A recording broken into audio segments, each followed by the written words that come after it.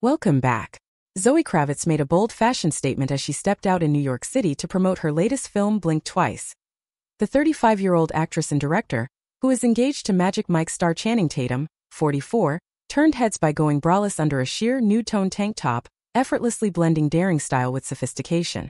Kravitz paired her eye-catching top with a chic black midi skirt, completing the look with simple black heels that added a touch of elegance. Her raven hair was styled in a sleek ponytail, highlighting her diamond earrings, which provided just the right amount of sparkle. Keeping her makeup natural yet glam, the high-fidelity star opted for warm brown eyeshadow that accentuated her eyes, while her skin radiated a luminous glow. She finished the look with perfectly gelled brows and a warm nude lip gloss, enhancing her effortlessly chic appearance.